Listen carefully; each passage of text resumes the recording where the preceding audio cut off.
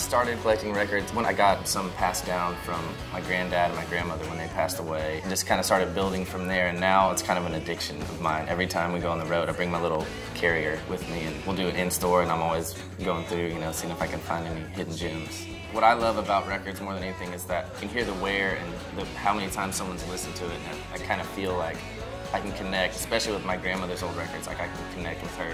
I can see the worn spots. I see the records she listened to more than others.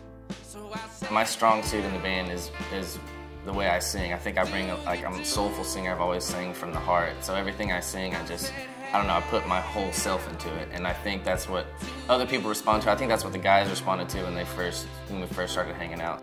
I think being part of a collective makes me try harder, especially being with such talented guys. I think it, it, raises the game of everyone else because you know how good the guy next to you is. So it's kind of like a competition thing, kind of like a Lennon and McCartney thing. You're kind of pushing each other to be better, and so what you end up getting is something I think really good out of that.